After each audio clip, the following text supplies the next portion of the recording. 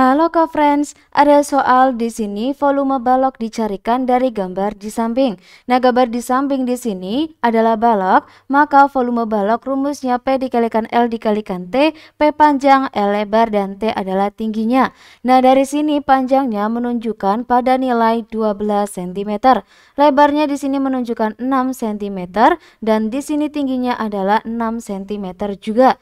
Nah, jadi dapat kita carikan volume dari baloknya adalah sama dengan 12 dikalikan 6 dikalikan dengan 6. Nah, dari sini dapat dihitungkan dengan perkalian susun friends.